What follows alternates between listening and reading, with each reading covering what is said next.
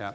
We have another question over here. Yeah, just uh, wondering at today's oil prices, um, how much of North American supply is uneconomical?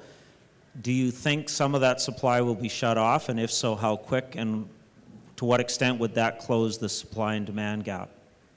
Well, based on this, the, the material that I looked at, I mean, the number of drilling rigs in North America has dramatically dropped.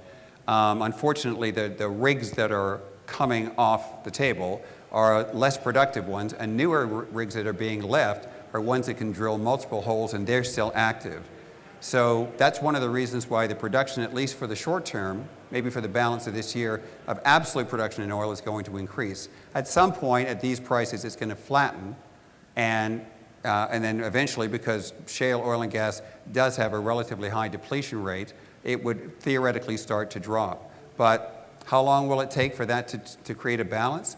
I mean, who knows? It could be, it's unlikely to be less than a year, and it could be longer than that. I mean, the other part of that is that oil sands, you know, as John said, it, it's, it's very expensive to, to create a new oil sands project, but to maintain the ones and the production of the ones you have is not as expensive, and they're extremely expensive and costly to shut in.